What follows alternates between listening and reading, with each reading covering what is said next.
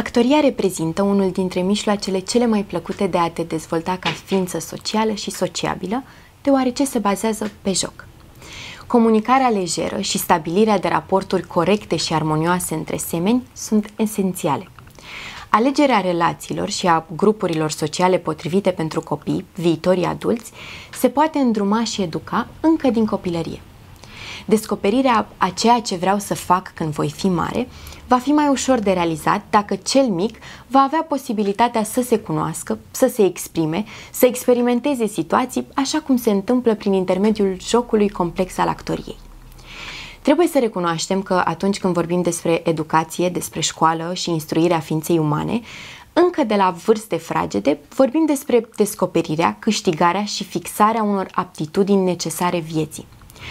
În acest context amplu al educației, arta teatrală poate contribui prin faptul că, datorită unor exerciții bine selecționate și conturate, urmărește dezvoltarea aptitudinilor copilului. Lucrul în echipă, capacitatea de observare, concentrarea atenției, imaginația, dezvoltarea simțurilor, spontaneitatea, memoria, stăpânirea emoției, intuiția, controlul conflictului și libertatea de exprimare în public.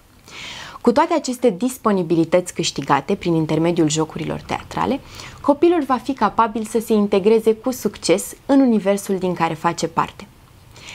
Arta teatrală slujește educația tocmai prin faptul că doar cu ajutorul jocului, care este atât de apreciat de copii, refuzând metode rigide de predare-învățare, poate face din mica ființă umană un viitor om.